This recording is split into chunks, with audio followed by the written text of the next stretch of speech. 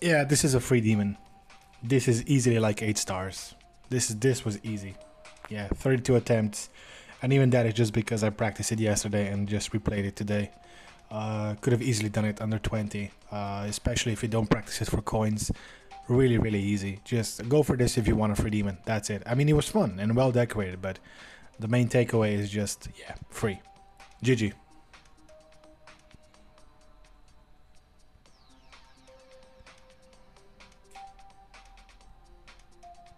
I think the servers are down right now because it's right before 2.2.